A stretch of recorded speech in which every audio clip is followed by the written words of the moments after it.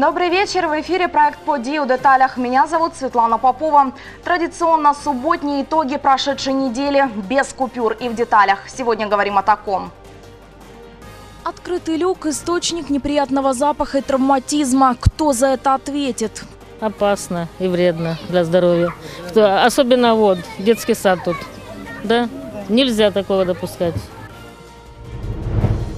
Прифронтовое счастье. Как не утратить веру в мирную жизнь? За последние два года город действительно изменился, э, можно даже сказать, преобразился. Вернуть успех. Как переселенцам открыть собственное дело? Для того, щоб виграти бізнес-грант, потрібно підготувати бізнес-план.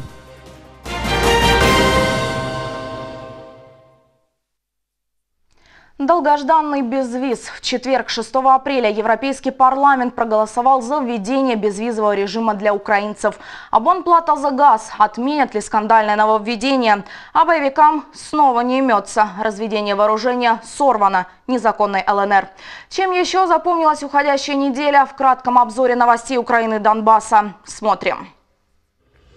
В четверг, 6 апреля, Европейский парламент проголосовал за введение безвизового режима для украинцев в странах Евросоюза. Голосование состоялось в рамках пленарного заседания Европарламента в Страсбурге. За безвиз проголосовал 521 евродепутат. Согласно процедуре, после голосования в Европарламенте регуляцию должен будет формально утвердить Совет Евросоюза на уровне министров. Законодательные изменения будут опубликованы в официальном журнале Евросоюза после того, как их подпишет президент Европарламента и представитель страны председателя Совета Евросоюза, сейчас это Мальта. Регуляция вступит в силу через 21 день после публикации. Путешествовать без виз смогут только владельцы биометрических паспортов и только в течение 90 дней в каждые полгода. Ездить можно будет всеми шенгенскими странами Европы, то есть безвизовый режим будет действовать для 22 из 28 стран ЕС, которые являются частью Шенгенского соглашения. Это и Франция, Германия, и Польша, Испания, а также Италия и многие другие. Безвиз также будет действовать в тех странах ЕС, которые еще не являются участниками шенгенской зоны, но имеют обязательство выполнять его законодательство. Румыния, Болгария, Хорватия. Не смогут украинцы без виз побывать в Ирландии и Великобритании.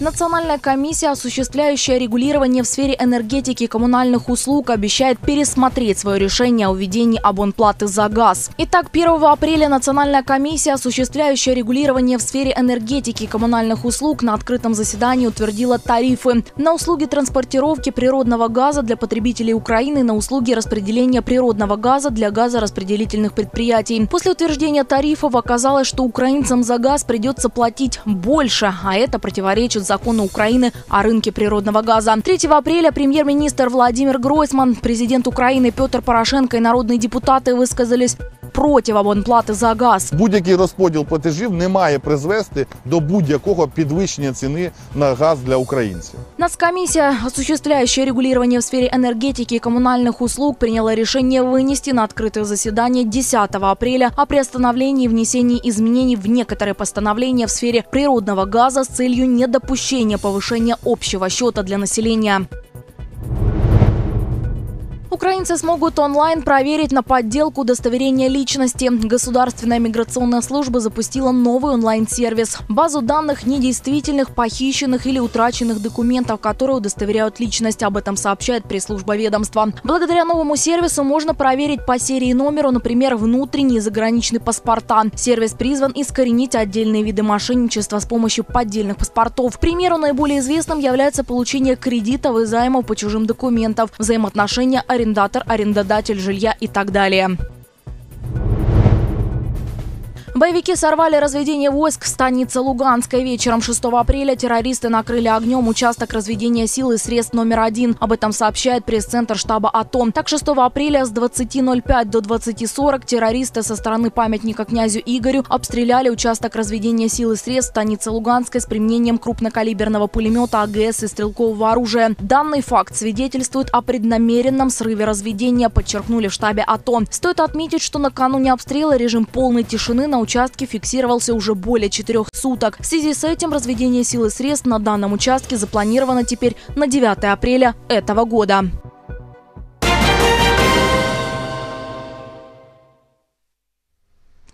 Смертельная опасность под ногами. Наши журналисты продолжают вести серию своих расследований. На этой неделе мы узнавали, кто виноват в открытых люках чуть ли не по всему Северодонецку. Бездействующие коммунальщики, канализационные воры или инертные горожане. Ответственность за содержание и ремонт люков, конечно же, несет организация, на балансе которой этот объект находится. Но люки, говорят коммунальщики, зачастую воруют, и эта история бесконечная. Чугунные крышки заменяют пластиковыми или железобетонными.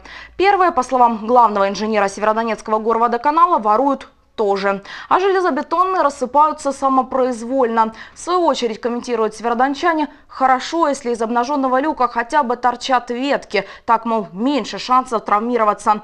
Но из всех опрошенных никто лично в коммунальные службы об увиденной опасности не сообщал. Осторожно, опасность под ногами. Вот так, без крышки и с набитым мусором. Такой колодец неподалеку от детского садика легко может стать причиной травматизма, особенно маленьких детей. Даже для взрослых опасно. Конечно, пойдет пьяный мимо вот здесь вот. Качнет его, он туда. Надо закрывать. Люки открыты, а ЖЭК бездействует. Пост приблизительно с таким содержанием в социальных сетях опубликовала северодончанка Мария. Девушка сетует. Ее дочь чуть не провалилась вечером в открытую яму. Журналисты нашего телеканала подключаются к беседе. Пользователей, которые хоть раз сталкивались с такой опасностью, нашлось много. Лисичанка Ирина подробно описывает аналогичные проблемные участки в своем городе. В переписке рассказывает, неоднократно обращалась в исполком, местный водоканал, МЧС и даже на горячую линию Верховной Рады. Но система, пишет Ирина, непрошибаема. Встретиться для интервью все как один отказываются. Съемочная группа на поиски открытых люков отправляется самостоятельно. Действительно, неподалеку от дома по Гагарина 70Б находим то, что искали. Открытый люк – источник неприятного запаха и травматизма людей и животных. Люк открытый уже несколько лет он. Ну что, ветками закроем, но все равно же это. Соседка вышла вечером и провалилась в него. Хорошо, что мужчины шли, вытянули. Хромала долго. Да. Кто ответит за случившееся? За разные люки – разные предприятия. Таких в Северодонецке три – теплосети, связисты и водоканал. Установить хозяина можно по маркировке на крышке. В горводоканале рассказали, только на балансе таунсервиса свыше 10 тысяч люков. Из-за частых краж чугунные люки водоканальщики не успевали ни покупать, ни красить. Заменили их на пластиковые. Говорят, тоже воруют. Но открытые люки продолжают закрывать. Делают это по звонку северодончан. Увидел дыру, звони диспетчеру на номер 432 91. Аварийная бригада выезжает незамедлительно и круглосуточно. Колодец накроют, шутя там, тему закроют. Чтобы обезопасить свою жизнь и жизнь своих детей, многие жители вот такими вот приспособлениями сами борются с ямами.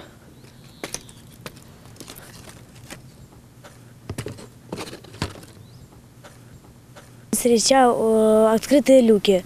Для меня это очень опасно, потому что туда можно провалиться. Только потому, что там бывает грязная вода, там трубы и остальное, там электричество проводят. Запах идет ужасный оттуда. Это канализационный люк. Поэтому его бы желательно закрыть, конечно. А вы никуда не обращались? Ой, нет, никуда. Вот у нас дом, мы живем, тут внизу люк там реально открытый. Он был около, ну, уже недели где-то. Ну, смотрю, заделали. Как бы. Но вообще встречаю, как бы. Есть такое вот, ну, там, ну, может, два там или три в городе по-любому встретишь. А что такое открытый люк? Вот обозначает для вас, что это? Это, ну, смерть, наверное, в первую очередь. Ну, травма, инвалид, ну, перелом там, ну, может, что-то такое. Опасно и вредно для здоровья. Особенно вот детский сад тут. Да? Нельзя такого допускать. Открытые накроют, говорят и в Северодонецком горсовете. Горожанам достаточно просто позвонить на горячую линию 051 и рассказать, где они наткнулись на зияющую дыру. Но, уточняет замгородского головы Алексей Ярош, подобных заявлений в этом году не было. Такой проблемы, как массовых открытых люков, в Северодонецке не существует. То есть, если человек обнаружил открытый люк, то есть его действие, куда он должен обратиться? Ну, в Служба 051 он звонит, поступает звонок переадресованный ЖКХ, и тут же в этот же день будем закрывать. Правда, отсутствующий металлический люк заменят бетонным. Он стоит значительно дешевле, в 2,5-3 раза в сравнении с чугунным. Его цена 120 гривен. И к тому же вовсе не интересен любителям легкой наживы. В Северодонецком отделе полиции рассказали, 5 апреля их сотрудник задержал двух канализационных воров. Злоумышленники украли люк неподалеку от дома 5А по улице Маяковского. Коли 18-річний та 24-річний чоловіки заходили у приміщення пункту прийому металу, співробітник представився та предложив е, показати, що саме вони принесли. Коли хлопці показали содержиме мішка, то він побачив, що там знаходяться люки, які були е, розбиті, бо пункти прийому металу не приймають цілими люки ці. Правоохранители сравнивают. Если еще пару лет назад люки крали повально, то в 2017-м это единичный случай. Сдать украденное северодонецким собирателям металлолома не удалось. Их задержали и доставили в отдел полиции. Возможное наказание до пяти лет за решеткой. Такой эквивалент двум с половиной гривням за килограмм ворованного люка. Одна разве только люки у нас открытые, а подвалы. Все открыто. Никто ни зачем не смотрит и не хотят смотреть. Их э, интересуют только свои карманы. Все. Да меня не только колодцы, меня вообще бардак в городе возмущает. Потому что никому ничего не надо. Сейчас на данный момент с ситуацией, которая сложилась на Украине, вообще, мне кажется, во всей Украине дела нет. Ни до дорог, ни до колодцев открытых. Если все же вы упали в открытый колодец, совет от подей в деталях. Сразу же поезжайте в больницу и зафиксируйте полученные травмы. Следом узнайте на балансе какого предприятия этот объект числится. Там возьмите подтверждающую тому справку. И можно обращаться в суд за компенсацией не только материального, но и морального ущерба. Дарья Расторгуева-Куценко, Николай Резниченко. Специально для подей в деталях. Они сутками слышат звуки разрывающихся снарядов. Они живут только сегодняшним днем и не строят планы на будущее. Они забыли, как выглядит мирная жизнь. Те, кто живет на грани. Наша традиционная рубрика «Прифронтовая жизнь». Сегодня это счастье, вот только теперь оно несчастливое. Уже два года там не могут отремонтировать школу искусства, пострадавшую от обстрелов.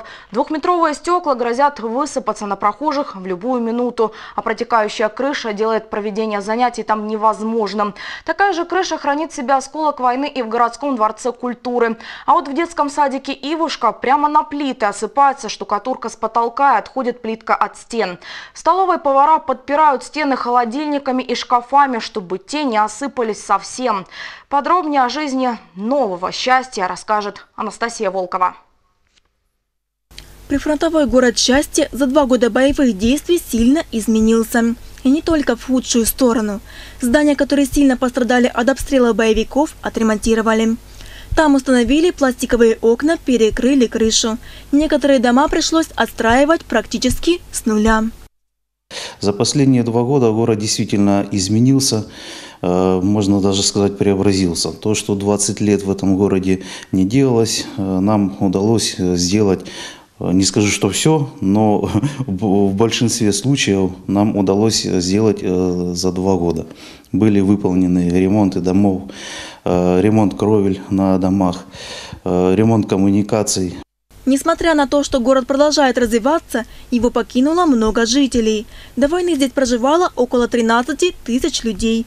Во время активных боевых действий осталось только 4 тысячи. Сейчас хоть люди и приезжают обратно, но численность населения не превышает 9 тысяч. В мэрии говорят, из счастья выехала вся молодежь. Работы в городе, кроме ТЭЦ, нет. Театров или кинотеатров тоже нет. Если раньше до Луганска можно было добраться за 20 минут, сейчас до нового центра Северодонецка ехать полтора часа. И стоит это 60 гривен в одну сторону. Во многом люди стали чувствовать себя оторванными от внешнего мира. Остался в счастье и ряд других, нерешенных пока проблем. Э, Проблем масса. Они возникают как снежный ком. И когда решаешь одну проблему, за ней тянется э, очень много других. Масса проблем. По оформлению права собственности на недвижимость. У нас э, архивы э, остались в городе Луганске. У нас есть объект, который э, фактически принадлежит Луганскому городскому совету. Наша музыкальная школа. Необходимо каким-то образом признать право властности за Счастьинской территориальной громадой. Вот сейчас юристы над этим вопросом работают. Окна школы искусств до сих пор хранят память об активных боевых действиях. Двухметровые стекла то тут, то там прошиты насквозь осколками снарядов. Преподаватели спасаются как могут, поэтому заклеивают сквозные дыры скотчем. Конечно, это на учебный процесс влияет и влияет негативным образом. Во-первых, когда э, ветреная погода, в кабинете холодно. Это раз. И в зимнее время. Во-вторых, все-таки аварийная ситуация. Дети могут открывать, закрывать двери, могут, ну это же дети, они могут это сделать и шумно, и начинается вибрация. То есть всегда опасение, что эти окна могут, стекла могут просто упасть да, вниз. Пока документы находятся в луганских архивах, к ремонту приступить не могут. Когда в судебном порядке права собственности вернут громаде, неизвестно. Э, Сейчас никаким образом средства на это здание выделяться не могут. Мы не можем начать ремонт, потому что это будет незаконно. Э, Фасад у нас состоит из очень больших э, стекол, ну это застекленный фасад, толщина этих стекол до 7-8 миллиметров, и все они разбиты, и практически все держатся на скотче. Э, Верхняя часть здания – это крыша, которая у нас имеет ровную поверхность, залитая крыша, и она пострадала от поражения осколками. Поэтому одна треть здания практически протекает. Один из этих классов – это хореографический класс, когда идет дождь до 28 точек, то есть 28 банок стоит в классе. Директор школы ведет нас в хореографический класс и показывает 28 нимкостей, которые практически постоянно здесь стоят. Сейчас за окном солнечная погода, а с потолка в банке все равно капает вода. Она скапливается после дождя в перекрытии крыши и еще долго просачивается сквозь балки. Коллектив школы искусств как может оберегает своих подопечных. Те, в свою очередь, все понимают и стараются преподавателей не огорчать. Я люблю школу искусств. Пострадала крыша от боевых действий и в городском дворце культуры. Начатый еще до войны ремонт приостановили. Найти денег на перекрытие не так просто, рассказывает директор учреждения. Мы не можем проводить мероприятия на уровне города, которые в помещении. Именно как бы у нас в основном мероприятия проходят на улице, либо в малом зале, но малое количество людей мы можем туда поместить. Зал, конечно, находится в стадии ремонта, и нам бы очень хотелось, чтобы этот ремонт побыстрее закончился. Но средств на это у нас нет. Сколько нужно денег на то, чтобы отремонтировать помещение? Но я думаю, больше миллиона.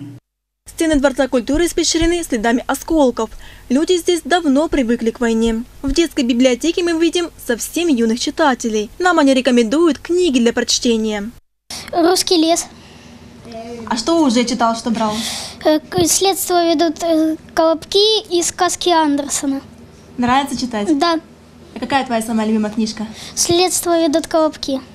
Моя самая любимая книга «Кот в сапогах». То, что она интересная.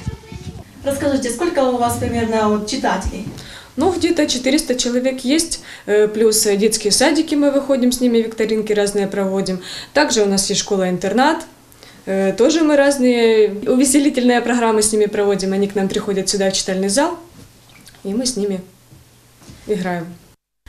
Своего ремонта ждет и пищевой блок детского сада «Ивушка». Повара подпирают отходящую плитку от стен холодильниками и шкафами. Ситуацию это мало спасает, поэтому руководство надеется, что спонсоры все-таки найдутся и помогут им. После боевых действий у нас стала отпадать плитка э, в пищеблоке. Со стен падает. Мы закрашиваем, потому что сделать ремонт мы не в состоянии. Он будет дорогостоящий. Это около 100 тысяч, как нам говорят. Так выглядит пищевой блок детского сада «Ивушка». Помещение давно нуждается в ремонте. Во время активных боевых действий здание сильно пострадало. Со стен стала отходить плитка и осыпаться штукатурка. Пока мы изучали проблемы счастьинцев, на глаза нам попался хлебный магазин. Журналисты подей не смогли пропустить его и зашли узнать, как обстоят дела с поставками хлеба. Скажите, часто привозят хлеб вам? Каждый день. Как много хлеба привозят вам? Ну, перебоев с хлебом не бывает.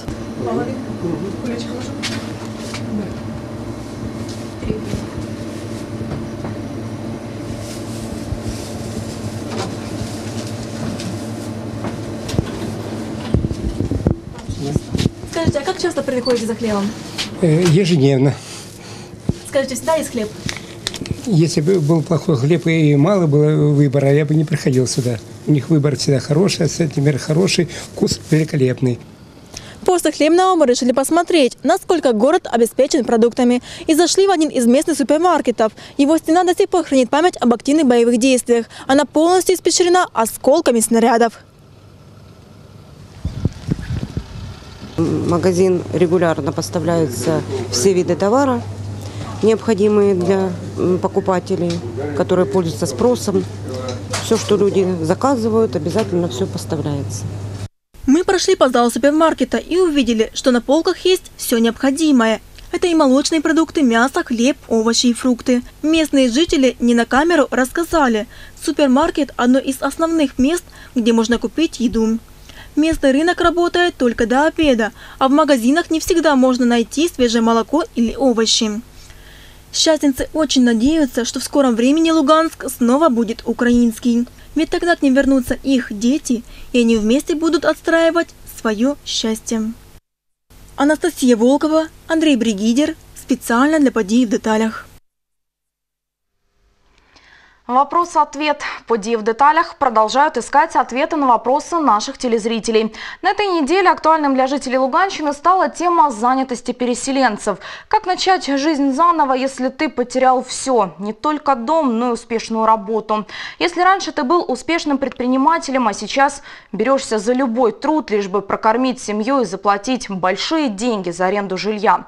Помочь берутся международные организации, предоставляя переселенцам гранты на создание собственного бизнеса с чистого листа. Как получить грант, рассказывает наш эксперт. Для того, щоб виграти бізнес-грант, потрібно підготувати бізнес-план. Е, Тому що інші документи, як копія паспорту або довідка внутрішньопереміщеної особи, це вже е, справа техніки. Для того, щоб допомогти людям в підготовці бізнес-планів, вже сьогодні можна консультуватись в агенції регіонального розвитку. Інтернеті легко знайти, що це за агенція і де вона знаходиться. Крім того, в кінці квітня ми плануємо кілька бізнес-тренінгів, які саме будуть присвячені, як правильно розробити бізнес-план. Але вже сьогодні, не чекаючи, поки ми е, запустимо тренінги, люди самостійно можуть шукати бізнес-ідеї і оформлювати їх в бізнес-плани. Рейтинговые события недели. Что интересовало жителей Луганщины больше всего? Об этом в деталях во второй части. Латают дороги по-новому. 7 минут и ямы нет. большой шаг вперед в развитии, будем надеяться, инфраструктуры города и, в частности, дорожного хозяйства. Печально известный Лисичанский дом номер 17 демонтировали почти наполовину. Бывает, что по по одной и той же детали подходим по 5-6 раз, чтобы вот ее именно взять и опустить вниз, без не, не травмировав никого. Голос краины вернулся на Луганщину. Как говорят, в властях хорошо, дома всегда лучше.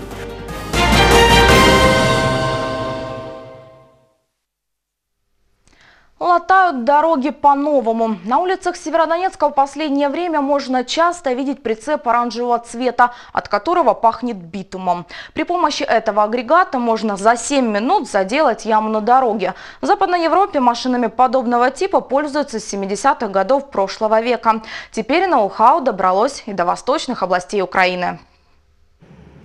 20 минут и на месте ямы новый асфальт. Столько времени ушло у бригады дорожных ремонтников на устранение дефекта на дороге. Мы проводим ямочный ремонт наших дорог э, по новой технологии, которая в нашем Северодонецке еще не использовалась. Это инфракрасный разогрев асфальта, использование э, старого асфальта кускового, который мы разогреваем, добавляем битумную эмульсию с модификатором. Асфальт приобретает э, свойства практически нового. Все это в горячем виде мы укладываем.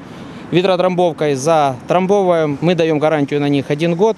планируем два года. Вадим выиграл грант по программе ПРООН. За выигранные деньги приобрел этот аппарат, стоимость которого свыше 7 тысяч евро. Набрал бригаду рабочих. Полтора месяца мы его настраивали. Мы сделали порядка 10 метров квадратных ямок, чтобы попробовать, какой, какой асфальт, как плавится, потому что есть своя специфика, сколько надо добавлять, чтобы ямка стояла.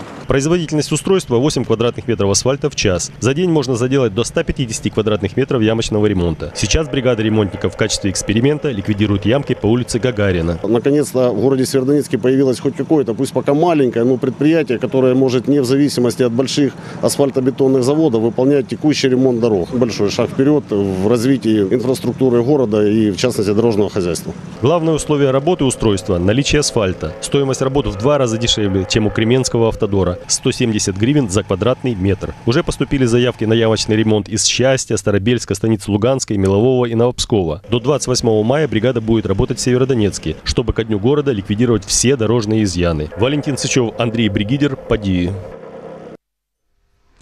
В Лисичанске продолжается демонтаж пострадавшего во время боевых действий жилого дома номер 17. Сейчас эта девятиэтажка разобрана примерно на 40%. Самый сложный участок, который пострадал от огня, еще предстоит разобрать. Как продвигается работа, видела Наталья Войнова.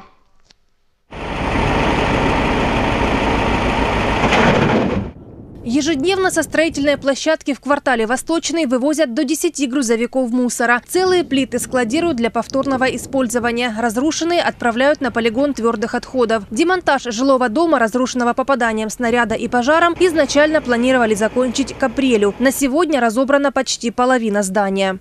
Разобрано 4 этажа плюс хозэтаж верхний.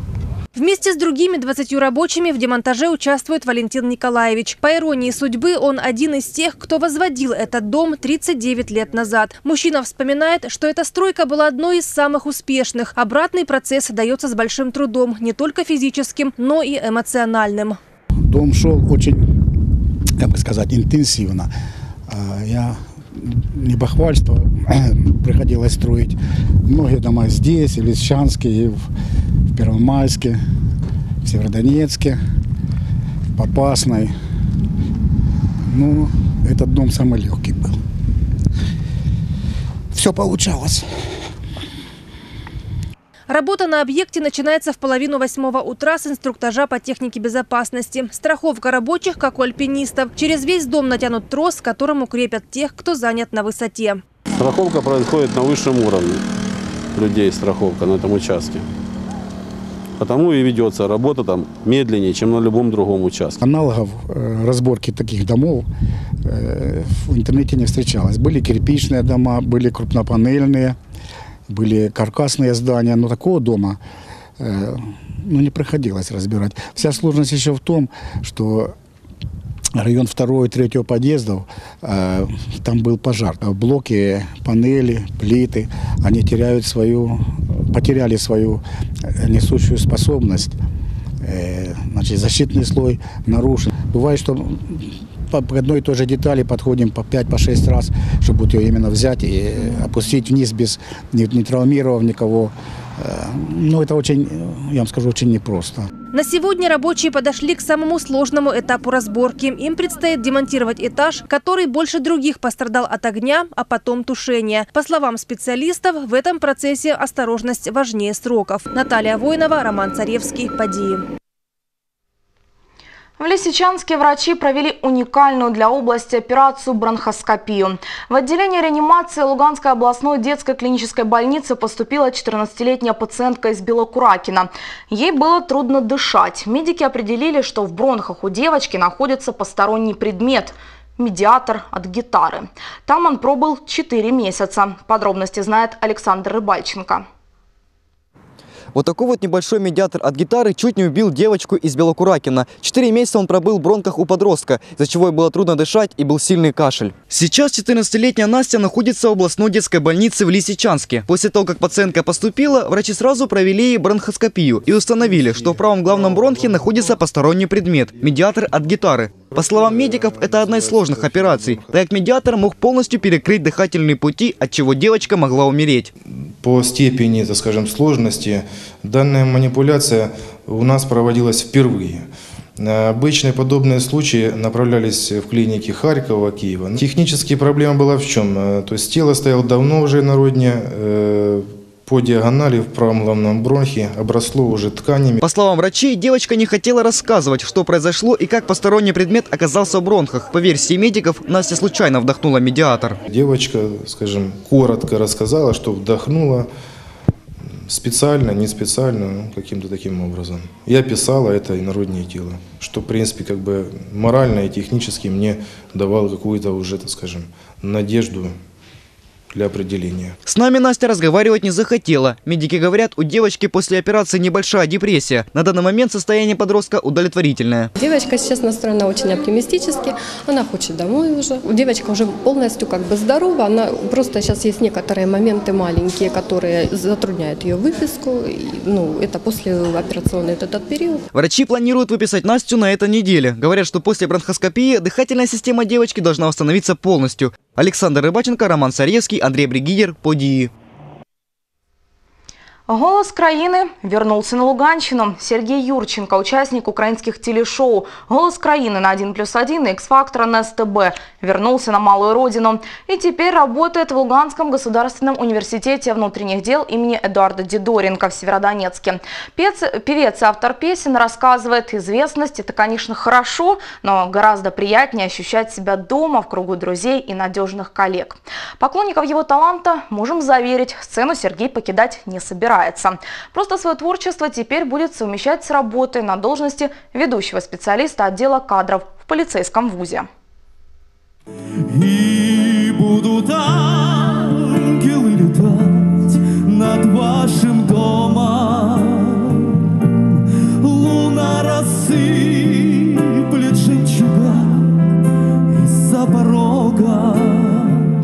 А это Сергей Юрченко без сценического костюма в будничной одежде и с бородой на своем рабочем месте. В Луганском университете внутренних дел трудится уже как два месяца.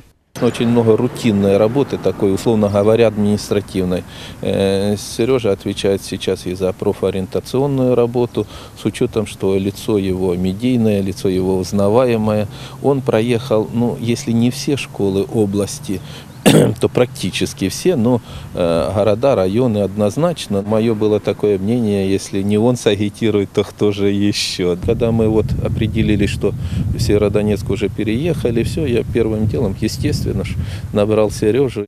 И он, недолго думая, приехал. В этом решении Сережу поддержала его жена Алена. Забрали дочку Софию из киевского садика, сына Андрея из школы и всей семьей переехали в Северодонецк. Она за ним, как за каменной стеной. Он за ней готов и в огонь, и в воду. Венчанные в этом году супружеская пара отметит десятилетний юбилей. Певец, автор песен и полковник по званию Сергей Юрченко рассказывает. Алена его во всем вдохновляет. И, по большому счету, неважно в каком городе, главное, что вместе. А в Северодонецке с такой-то поддержкой уже готов сам стать вокальным тренером для талантливых курсантов. Вы знаете, как, э, как говорят, в гостях хорошо, дома всегда лучше. Поэтому всегда тянуло на родину, э, а тем более такая возможность, Луганский университет внутренних дел приехал на родную землю, да, и, ну, как, мы-то все луганчане, да, в душе патриоты, поэтому нам все равно выступать можно ездить и в Киев, и в Харьков, и куда жить надо всегда на той земле, которая тебя взрастила. Ну и стараться всячески ее прославлять. Я сильно люблю своего папу. А покажи, как ты любишь. Если я знаю, что рядышком муж, то я не беспокоюсь ни о чем. И неважно, что вокруг, где мы находимся. За последние два года э, было немало ситуаций, э, в которых наша наш брак, да, наша вот семья выстояла сре- среди всех преград, всех этих ситуаций сумасшедших. То есть мы как-то сплотились, еще более стали крепче, у нас семья стала крепче. И э, я думаю, благодаря этому наши дети э, морально не пострадали из-за этих переездов. Вернуться на малую родину было не так сложно, как принять решение участвовать в телепроекте канала СТБ «X-Factor», рассказывает Сережа. Отборочные кастинги проходили тогда, когда на Луганщине начинались боевые действия. Совместно со Стасом Панькиным и Эльдаром Кабировым, который э, принимал участие, является капитаном команды «Другой мир». нашей луганской, нынешней луганской сборной, которая участвовала в Лиге смеха. Вот мы втроем решили закрутить такое трио. Приняли участие, попали в команду к Сергею Соседову э, и дошли до суперфинала. Э, в суперфинале мы уже боролись с нашим земляком, опять же, Дмитрием Бабаком. Э, к сожалению, ну или я не знаю как, к нашему сожалению, к его радости, он победил. Это не сделало трио «Экстрим» менее популярным. С гастролями ребята объехали многие города Украины и других братских стран. В силу различных обстоятельств теперь вместе, по словам Сергея, они практически не работают, но продолжают общаться, как и со своим наставником Сергеем Соседовым. Также Юрченко поддерживает связь и с другим тренером по проекту «Голос Краины» Дианой Арбениной. Что касается э, Сергея, ей-богу, не могу найти изъяна вообще. Но это сильный человек, который знает, о чем он поет, который э, четко понял то, что я от него требую. А требую я э, знать, кому ты поешь, особенно такую песню. Сергей Юрченко делится. У Арбениной и Соседова есть что-то общее. Возможно сравнить и Арбенину, и Соседова. Вы знаете, они э, вот если знают, что нужно достигнуть какой-то цели, они себя положат полностью. Это были тренеры, которые, э, наверное, из всех тренеров, которые были на проектах, уделяли времени больше всего своим подопечным. И они учитывали наши интересы. Сережа продолжает. Участие в таких телешоу дали ему многое. Само собой, богатейший опыт, но самое главное – незабываемые воспоминания. Когда от волнения пропадал голос за несколько дней до прямых эфиров, но были и более трепетные моменты. Диана вместе с э, постановщиками решили меня разыграть. И в одном из номеров э, ко мне навстречу выходила э, солистка балета, как раз в песне «Я прошу хоть ненадолго». Мы так отрепетировали все, а в прямом эфире они привезли мою жену, я не знал об этом. Это, конечно, рискованный был поступок, потому что можно было в этот момент забыть слова и растеряться, потому что все живьем.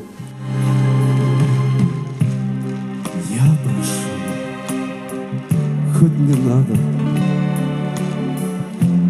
Боль моя, ты покинь. Эти эмоции бесценны, но и работа на постоянной основе в Луганском государственном университете внутренних дел имени Эдуарда Дидоренко творчеству не помеха, признается Сережа. Он все так же поет и пишет песни, а восьмилетний сын Андрюшка подсказывает – мой папа не только поет, а еще играет на гитаре. А еще мы всей семьей идем послушать папины музыки. Я слушаю и подпеваю папе. Моя любимая песня называется «Ты меня любишь, лепишь, творишь, малюешь». Это э, я с папой на голосе краине это подпевал.